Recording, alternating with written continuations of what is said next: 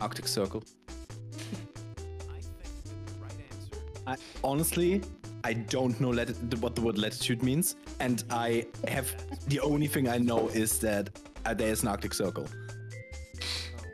Okay. you know longitude and latitude? What is that, is it auf Deutsch? Let me check. Is that Breiten- und Höhengrad? Probably.